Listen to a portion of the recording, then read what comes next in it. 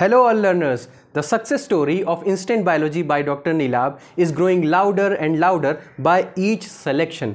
But why take my word for this? Let us hear from the stars themselves. Hello everyone मेरा नाम सोमेश शुक्ला है मेरा gate B में 55 rank है और मैंने गेट बी के लिए क्रैश कोर्स ज्वाइन किया था जो बहुत ज़्यादा हेल्पफुल रहा और उसमें डाउट क्लियरिंग सेशन और उसके नोट्स वो काफ़ी हेल्पफुल रहे। तो इसका सारा श्रेय मैं नीलाभ सर को देना चाहता हूँ, क्योंकि जो उन्होंने कंटेंट प्रोवाइड किया कराया, वो अकॉर्डिंग टू सिलेबस था अकॉर्डिंग टू एग्ज़ाम पैटर्न था।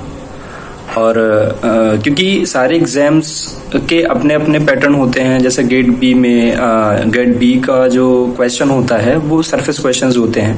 तो जो हमें नोट्स प्रोवाइड हुए उसके अकॉर्डिंग सारे क्वेश्चंस क्लियर होते गए और एग्ज़ाम टाइम में भी सब कुछ सब कुछ क्लियर होता गया।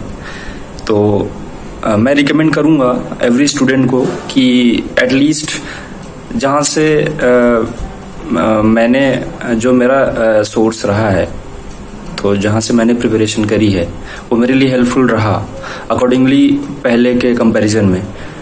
तो आप भी ज्वाइन कर सकते हैं सर का crash course okay thank you. Student of btech biotechnology i have qualified gatb 2021 with all india rank 127 obc mcl this was my very first attempt. Regarding the preparation i had joined gatb crash course classes uh, proposed by dr nilab shrivastava and moreover uh, so i found certain topics from the syllabus which created a lot of doubts in my mind for which i saw his videos on nilab youtube channel uh, instant biology by dr nilab and these videos helped me a lot in my preparation. He literally cleared all my doubts regarding the examination. Topics like biochemistry immunology bioprocess engineering are the majorly important topics. Either it is for GATB or GATE exam.